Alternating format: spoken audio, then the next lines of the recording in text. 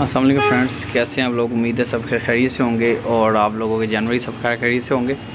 तो आज का जो हमारा टॉपिक है, वो हमारा ये होगा कि बकरी की तैयारी को, तैयारी किस तरह देंगे गबन बकरी की?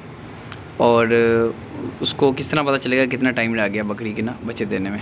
तो इस टॉपिक पे थोड़ी सी हम छोटी सी बात करेंगे तो इंशाल्लाह उम्मीद है आप लोगों को ना सारी समझ आएगी। ज़रा वीडियो पूरी देंगे स्किप नहीं करनी। फिर आपको समझ नहीं आती, कोई पॉइंट्स मिस हो जाते हैं बीच में से।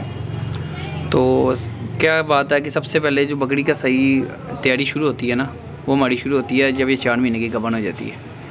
उसके बाद, बाकी जो हम डाइट अच्छी, पीछे से तो हम डाइट अच्छी दे रहे होते हैं, क्योंकि असल में जो बच्चा बनना शुरू होता है वो बीस बीस, पच्चीस दिन में अच्छा वाला बच्चा स्टार्ट काम शुरू हो गया होता है अंदर।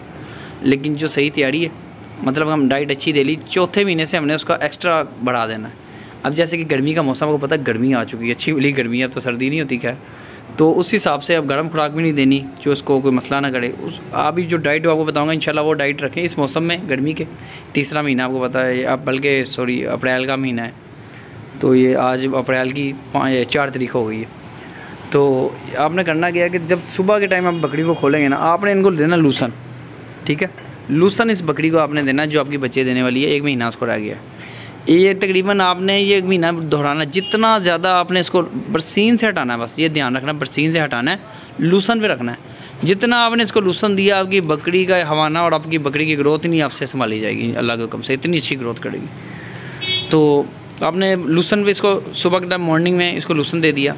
पानी इसको दो तीन टाइम दिखाना है और गुड़, शक्कर कुछ बीच में डालने की ज़रूरत नहीं है। सादा पानी, बिल्कुल सादा देना कोई बीच में पंगा लेने की ज़रूरत नहीं है आपको। गबन बकरी के साथ। वैसे बकरों को शायद शक्कर डाल के देते हैं लेकिन गबन बकरी के साथ हमें रिस्क नहीं लेना अभी फ़िलहाल। जो आपको पता, बात हो रही गबन बकरी की तो उसी पे हम बात करेंगे। तो आपने इसको पानी देना सादा और पानी ताज़ा फ्रेश मतलब गर्म ना हो और ठंडा भी ना हो नॉर्मल ठीक है? वो आपने बकरी को पिलाना, सुबह, दोपहर, शाम तीन टाइम दिया। उसके बाद कोई देसी घी देने की ज़रूरत नहीं है गर्मी में। ज़रूरत नहीं है आपको बिल्कुल, अल्लाह के कम से। मैं आपको देसी घी नहीं है आपने इसको सरसों का तेल दे देना है। तकरीबन पाँच सी एक दिन छोड़ के एक दिन। आप इसको देते रहें, ठीक है?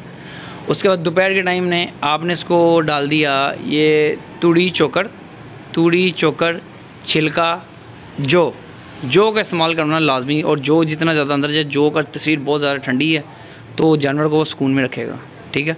और जब ये तूड़ी चोकर, छिलका, और जो आपने दोपहर में दे दी, रात को सेम यही चीज़ दोहरानी है, तूड़ी चोकर, छिलका, जो, और उसमें एक ऐड कर देना आपने गंदम।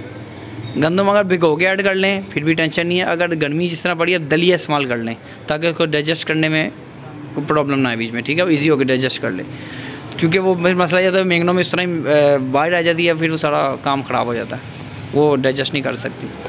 तो लिहाजा आप आप, आपने क्या करना है कि तीन टाइम ये रूटीन बना लें, इसकी पानी आपने उसको सादा देते रहना है। और लूसन जितना दे सकते हैं उसको लूसन दें के कम से होगी बकरी आपके संभाल ली नहीं जाएगी। आपकी इतनी अच्छी ग्रोथ में उसकी पसलियाँ कवर हो जाएँगी, उसके ऊपर वाली हड्डी नज़र आएगी, वो गोल हो जाएगी बिल्कुल।